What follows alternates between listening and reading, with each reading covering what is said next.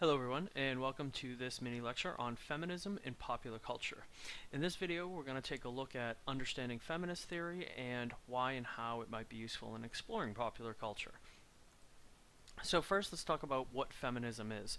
Uh, there's uh, it's gotten a bad rap um, in the last two or three decades. A lot of that is kind of a response from uh, typically more conservative enclaves within culture that has attempted to paint feminism as something negative. Um, but feminist feminism and feminist theory, it's basically an approach that attempts uh, to examine the inequalities of sexes, believing largely that the difference the differences are culturally and socially constructed. Uh, that is, while there may be some differences between the sex, those are much smaller than what we perceive of differences between the sexes, and a lot of them have been created through culture and through our our institutions to make those bigger than they appear. So within popular culture, one of the things that feminism is very useful in, in, in, doing is considering the ways that women are dealt with, shaped, and represented, uh, as well as increasingly looking at how males are as well, because there's an increased understanding that you know the the system that we have set up is problematic because it's not just about women, but it's also about the ways in which men are misrepresented or purposely forged into being uh, the certain ways that they are expected to be. And so that there's this this obviously back and forth relationship that that really needs exploring and better defining for uh, potentially better a better society of, of equality and uh, fairness. So there are there's a lot of different feminist theories and theoretical approaches. And I think that's the important thing to remember is that feminism is not one single entity or the, the only single piece around feminism is this attempt for there to be equal value between men and women. Uh, and that's at the core of it. But there's different theoretical approaches to exploring and understanding that. So we'll take a look at a few, but these certainly aren't all of them. The first is what would be considered liberal fe feminism, and this really looked at and critiqued the unequal representation in media and popular culture. Uh, so this is things like, is there equal amounts of male leads and female leads in films, in TV sitcoms, in uh, newscasters, right? And it speaks to this idea of, you know, if if we are an equal society, then equal representation should show up throughout the culture. And if not, then there's something going on there structurally that's privileging one group over the other. Radical feminism is typically looking at and, and, and, kind of perceives that the culture is purposely structured to present negative images of females to maintain patriarchy. And in fact, when you start to look at high culture, it's typically associated with masculine features, and popular culture is typically considered with feminine features. So if you think about high culture, you think about things that require quote unquote work and things that require, you know, this this extreme effort and dedication. Whereas popular culture is light. It's to be easily consumed. It is not as powerful. Right, so there's this view within radical feminism that says, you know, the culture has actually constructed this way purposely and in many ways attempts to depower females. And this is where some people get challenged by or get concerned at saying, you know, well, but but you know, there's many there's there's most people don't hate females. Uh, there's that argument that that pops out there, and there's a validity to this, but of course, the idea within radical feminism is that this is deeply seated and it isn't necessarily on the surface, but it shows in a variety of ways. It shows up in the fact, you know, if you just look at the disproportion of males to females in terms of sexual violence, um, in terms of violence in general, um, that this starts to kind of show up systematically. And then there's socialist feminism. And within this, you know, it, this form of feminism pulls upon socialism, and the approach is understanding the media construction, the, the media construction situated within other social dynamics such as cl uh, class and race. So this is this talks about the idea of feminism or the the representation of females is part of this other dynamic of class and race, and is overall an attempt to depower or to limit people, and in this case, women in particular. Alright, so there's also other ways or other other hypotheses or ways of looking at female representation or looking at feminist uh, ideas within popular culture. One is this idea of the reflection hypothesis, which is the media perpetuates the dominant social values in our culture uh, through what we would call symbolic representation. That is how we want to see ourselves. They do this in part to attract audiences through the lowest common denominator um, of shared values and amusements. So what this says is if we look at culture, um, culture is typically a representation of how we want ourselves to be. And so if we look at a culture and there is very poor representation of women in major media outlets, then that tells us of how we want to be. It's this is an interesting hypothesis because as we start to see more women and more minority groups, it's telling us that we want to see ourselves better than a male, a, traditionally white male dominated society. Um, so the fact that this is being broadcast, you know, to quote unquote the lowest common denominator shows that our values are actually changing if you buy into the reflection hypothesis. Then there's also content analysis. This is another way of looking at um, our understanding gender, sex, sexuality, or race and ethnicity in popular culture. And this is extrapolating the actual elements of a piece of media to measure how much of something is represented. So this is this entails you know really going out and uh, doing a lot of uh, one could say a lot of counting. Um, how many you know the question I have up here: How many women are happy and successful in Hollywood movies?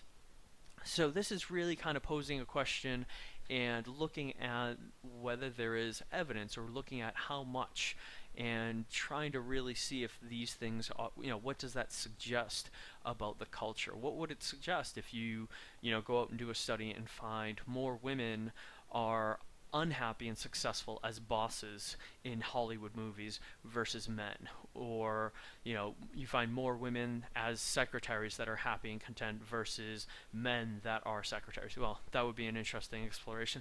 How many men are secretaries or administrative assistants in Hollywood movies?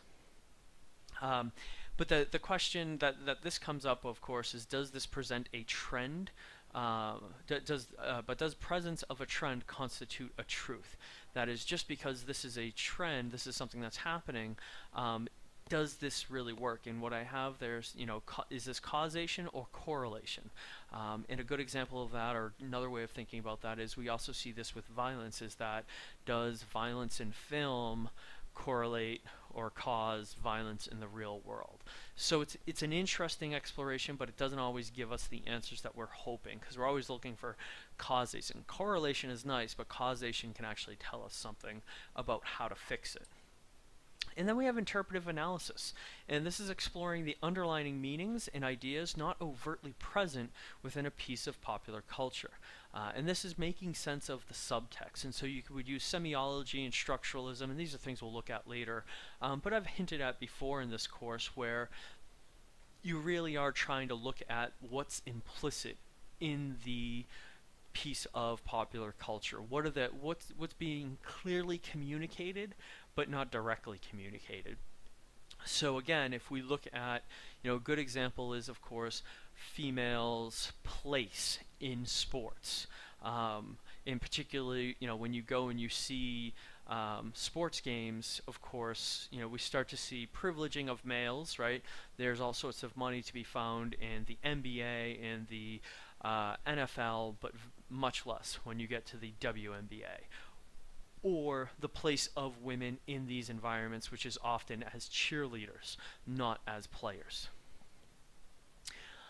There's also this interesting concept called the symbolic annihilation of women. And this idea really, you know, it, it talks about the, or it's, it's this vein of, or this, this vein of thought that talks about patriarchal a patriarchal culture's attempt to limit or lessen pow the power, abilities, and agencies of women through limited representation.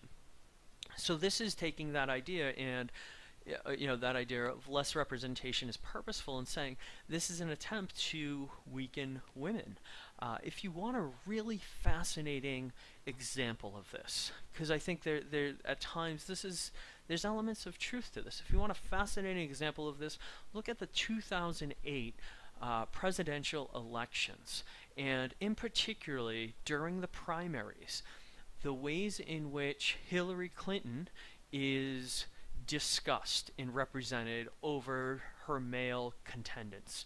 Um, similarly, when Sarah Palin becomes the vice president uh, candidate for the Republican Party, you see again some very fascinating ways in which women are are, are, are limited, um, the ways in which they're discussed, the ways in which they are questioned. You know, they're questioned about things that you never see men being questioned about in politics, about what they're wearing, about how they are as parents.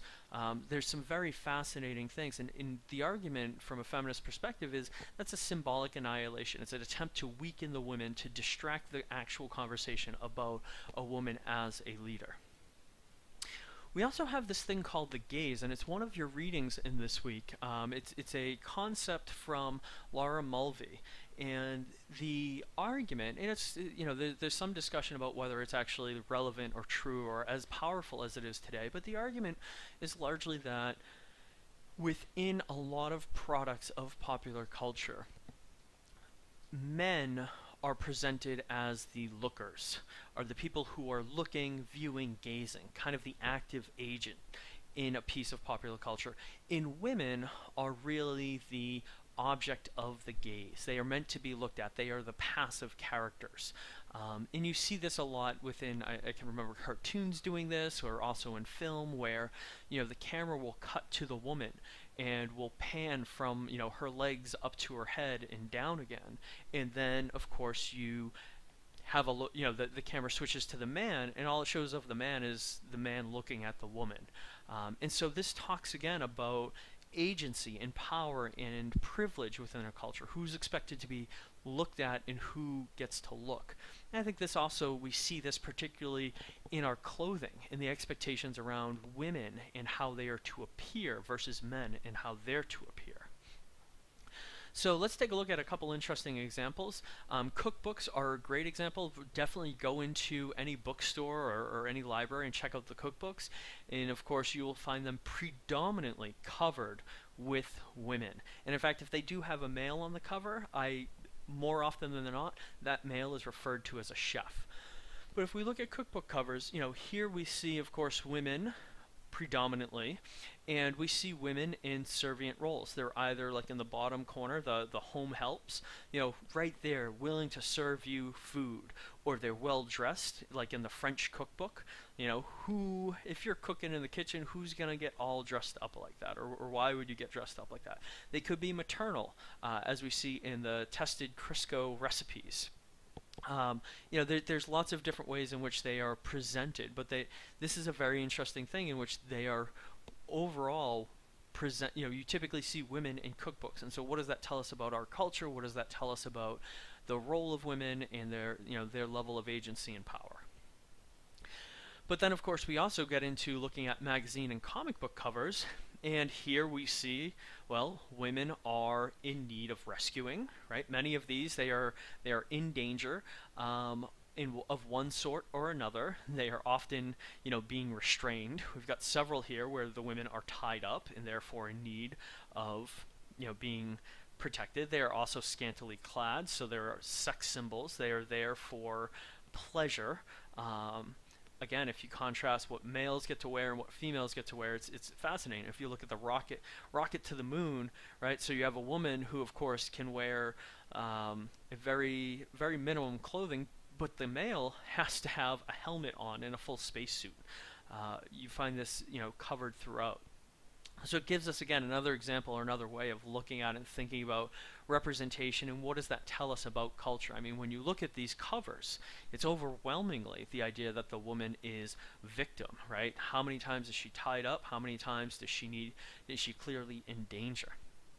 All right, so hopefully this has given you some introductory ideas into the ideas around feminist, uh, feminism, feminist approach, and I hope that you can bring these into the course um, as we talk about different things. So thank you very much for watching, and see you in the next video.